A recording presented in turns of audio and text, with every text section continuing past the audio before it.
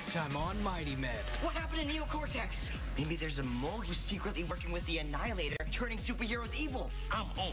So you two guys mind your own business. Phase two of our plan is almost complete. Who has the strongest motive to betray the superhero world? I'm a mole! Then you need to do something to throw them off our scent. I know who the mole is. He did.